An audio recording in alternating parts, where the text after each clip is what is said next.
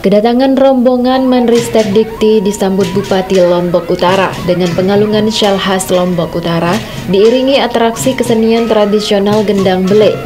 Sebelumnya diadakan rangkaian acara seminar pendidikan nasional dengan menghadirkan narasumber dosen linguistik pasca sarjana FKIP Unram Sukri, Kepala Dinas Diktora KLU Fauzan, di area vokasi Politeknik Unram Amor Amor. Dalam kedatangannya, Menristek Dikti RI Nasir menjelaskan bahwa di Nusa Tenggara Barat belum ada politeknik sehingga akan memberikan perhatian khusus dalam pengembangan sumber daya manusia untuk meningkatkan kualitas pendidikan.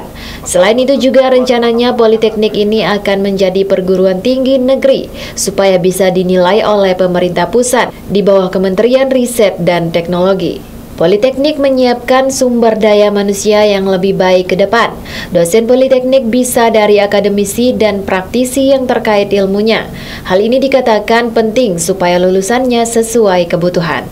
Terkait penegrian Politeknik, Menteri menyatakan harapannya Politeknik bisa menjadi negeri, tergantung hasil visitasi penilaian. Hanya dia itu menyangkut dosen dan semua laboratorium yang ada di kampus ini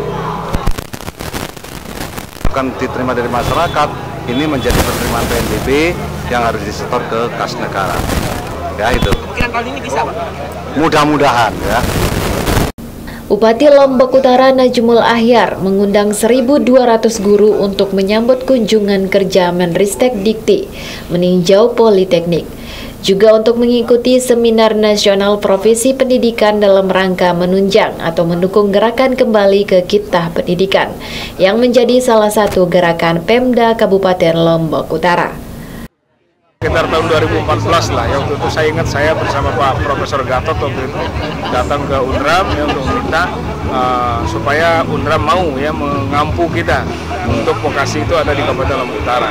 Nah setelah itu prosesnya kemudian berjalan ya, sampai saat ini Nah ini momentum percepatan dengan kedatangan Pak Menteri ini kan luar biasa. Artinya kalau Pak Menteri sudah mengatakan oke okay, seperti tadi, ya maka nanti uh, staf-staf beliau tentu akan melakukan kerja-kerja teknis untuk segera uh, politeknik ini berdiri. Dalam penutupan dilakukan penyerahan cenderamata oleh Bupati kepada Menristek Dikti RI. Hadir pula anggota Komisi 7 DPR RI Kortubi dan Rektor Unram Lalu Husni. Dari Lombok Utara, Nusa Tenggara Barat, Aris Munandar, GET TV.